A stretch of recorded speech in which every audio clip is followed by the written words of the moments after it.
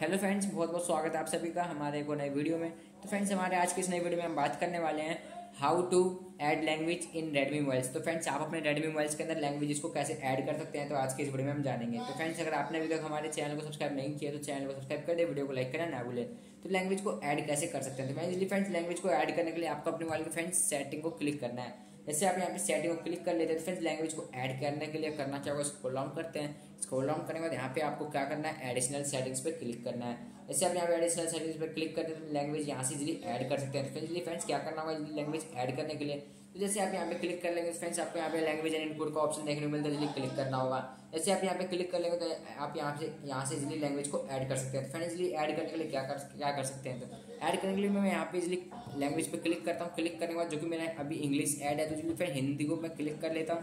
क्योंकि मेरा हिंदी देखने को मिलता है क्लिक करके ओके मैं क्लिक करूँगा, मेरी लैंग्वेज यहाँ पे हिंदी सेट हो चुका है ऐड हो चुका है। तो इस तरह फ्रेंड्स हिंदी लैंग्वेज को यहाँ पे कोई और दूसरी लैंग्वेज आप चाहे तो सिलेक्ट करके ऐड कर सकते हैं। तो उम्मीद करता हूँ फ्रेंड्स ये वीडियो आपको पसंद आएगा आपको ये वीडियो पसंद आए तो वीडियो को लाइक कर दे चैनल को सब्सक्राइब कर दे। तो मैं मिलता हूँ नेक्स्ट वीडियो में, तब तक के लिए बाय